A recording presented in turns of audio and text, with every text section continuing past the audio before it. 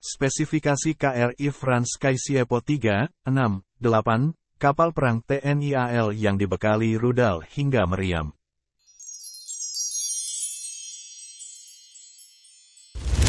TNI Angkatan Laut memiliki alat utama sistem senjata kapal perang KRI Franz Kaisiepo 3, 6, 8. KRI Franz Kaisiepo 3, 6, 8 merupakan kapal perang TNI AL yang dipesan dari negeri kincir angin, Belanda, dan tiba di Indonesia pada 2009. Dikutip dari kominfo.jatimprof.go.id, KRI Franz Kaisiepo 3, 6, 8 memperkuat satuan kapal eskorta Komando Armada Timur. KRI Franz Kaisiepo 3, 6, 8 yang tak lain kapal perang korvet ini berjenis Ship Integrated Geometrical Modularity Approach.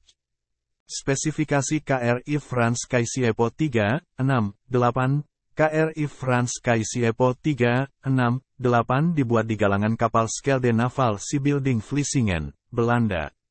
Ada tiga kapal yang serupa dengan KRI Franz Kaisiepo 3, 6, 8, yang telah datang lebih dulu dan memperkuat jajaran TNI AL. Ketiganya antara lain KRI Diponegoro 3, 6, 5 yang datang di tanah air pada tanggal 17 September tahun 2007, KRI Hasanuddin 3, 6, 6 yang datang pada tanggal 1 Februari tahun 2008, dan KRI Sultan Iskandar Muda 3, 6, 7 yang datang pada tanggal 3 Desember tahun 2008.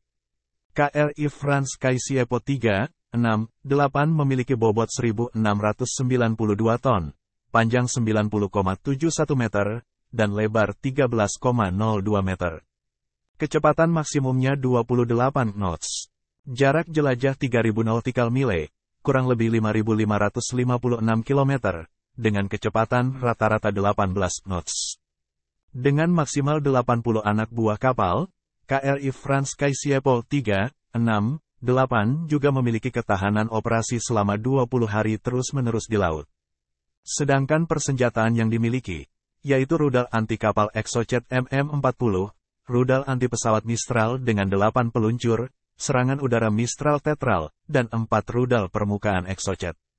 Kemudian meriam Otto Melara 76 mm di depan, dan di samping kanan kiri terpasang meriam Vektor G12 20 mm, serta dua peluncur torpedo. Selain itu, kapal perang ini memiliki komputerisasi persenjataan Thales Tacticos, radar tiga dimensi, radar pelacak Lirot MK2, dan sonar Thales Kinglip aktif pasif. Download Tribun X sekarang. Menghadirkan lokal menjadi Indonesia.